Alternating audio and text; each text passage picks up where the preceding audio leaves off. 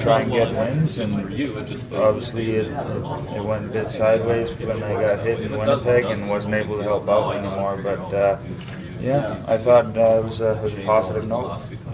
Eric talked a lot about how small he got to this league season. How's that impact? It gives you a little more I turning. think it, it's a positive thing for everybody, and not only me. I think uh, speed is always dangerous. You can you can do so many things when you have a fast team and you play fast, and I think uh, it's an important part of, of the game and the way the game is played now. Everybody is so talented and so good. And so I think the faster return you have, the, the better you're going to be.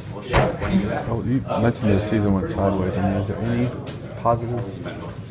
Uh, for team-wise? Yeah. For, Uh, I don't know because the last 38 games I didn't play, so I wasn't I wasn't around them in the games or anything. I was only here for practice and stuff, right? So um, positive notes. I think um, obviously Oliver was very positive this year. He set uh, set some records, I think, and, and yeah, did amazing. So that that was a positive note, I think, and and Smitty ended really well. I think he, he played well down the stretch. So hopefully that can lead into to being a good start next year. So there's there's positives and there's there's ups and downs and positives and but yeah, I wasn't around enough uh, late in the